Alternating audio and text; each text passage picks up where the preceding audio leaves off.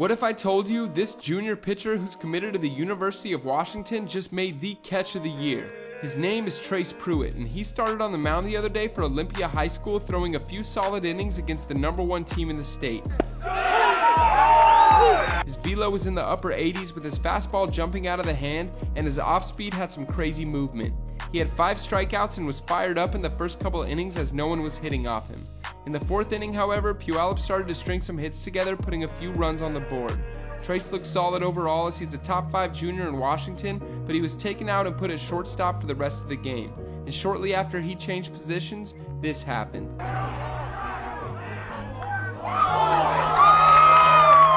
He makes what might be the catch of the year, showing that he can do it all on the field. Trace is a fun player to watch, so make sure to keep up with his journey as he's going to keep developing into an even more solid athlete.